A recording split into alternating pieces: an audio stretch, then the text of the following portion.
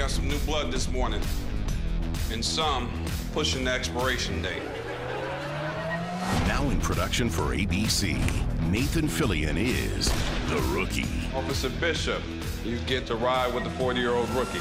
This show is about Nolan, who decides to make a big change and come to Los Angeles, where he joins the LAPD as the unit's oldest rookie. Sergeant Gray does not appear to be a fan of my presence in this department. Because you're old as hell?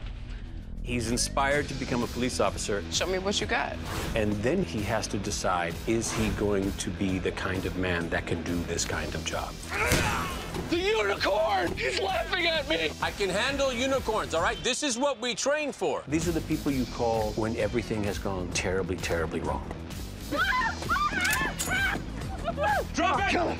Look, I became a cop to help people, not kill them. What happens next? It's gonna change both of our lives. I think there's a fundamental truth in the rookie about you hit a certain age and your life changes. I thought I had to become someone else to do this job, that who I was before wasn't good enough. I was wrong. I earned my place here, and I'm not leaving. It's honest and it's real. These are human beings, these are regular people. They have good days and they have bad days. Crappy things happen and funny things happen. Yippee-ki-yay. What are you doing? Just check, testing, check. That's our show. Sorry, I'm needed somewhere. We are doing a slice of life show. You're about to hit the street with a loaded handgun and no idea what happens next. We have a great story. We've got an amazing director. I think the time is right for a good old-fashioned cop show. Open up, police!